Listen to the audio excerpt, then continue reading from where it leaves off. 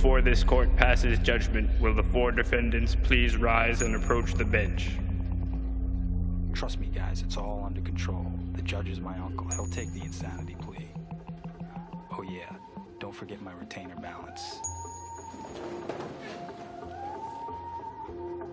Okay, I understand you guys are pleading insanity, claiming demonic spirits possess you to do these hideous murders. Can you please explain to this court how these so-called spirits made you into these raving madmen? Be a witness as I exercise my exorcism. The evil that lurks within, the sin, the terrorism. Possessed by evil spirits, voices from the dead. I come forth with Gravediggaz in a head full of dread. I've been examined ever since I was semen. They took a sonogram and seen the image of a demon.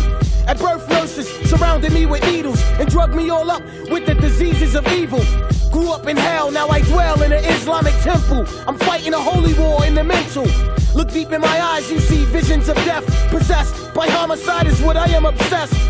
Giving niggas brain dimples. Dragging their asses on my hook by their temples. The cause of death is unknown to the cops. Cause when I kill them, I'm not leaving one element, two or tops. First I'll assassinate him, and then I cremate him. Then take all of his fucking ashes and evaporate him. Or creep through the graveyard and hunt down your tombstone. Dig up your skeleton and stomp all your fucking bones. You try to haunt me, nigga, I ain't trying to hear it. Buck, buck, buck, I give your ass a Holy Spirit.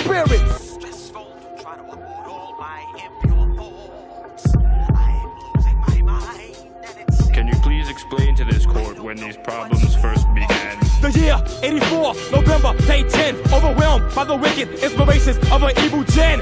I realized my ideas has spawned for 400 years of blood, sweat, and tears. I saw the torture, brutal murder of my father. So my brain became stained with the horror. I'm having reoccurring nightmares. Of being soaking wet, strapped down to the electric chair. I got tackled with handcuffs and shackles and restrained in the bottom of a holy tabernacle. They gave me nothing to eat for two weeks and so my eyelids open so I couldn't sleep.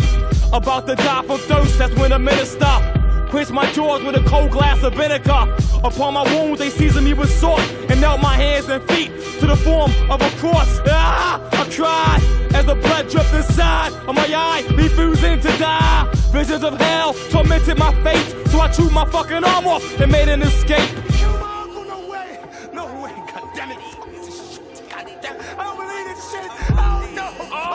Me mataron mi amigo, hijo de la gran puta, esos fuertes me mataron mi amigo, ¿qué voy a hacer, carajo? Calm down, people. Please calm down. Proceed with the defendant's explanation. into the realms of understanding and take good heed and you could bleed while I'm scanning. Three stages of pure hell 60 cages of red cells. Shh, raindrops hit the pales. Path is dull and narrow you stalked by shadow. I pierced your skull with a fucking arrow. So narrow only one could enter at a time. Stuck in the center